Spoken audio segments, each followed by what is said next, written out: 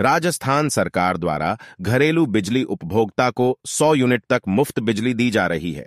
इस योजना का नाम राजस्थान मुख्यमंत्री घरेलू विद्युत अनुदान योजना है। इस योजना के लाभार्थी राजस्थान के निवासी होंगे।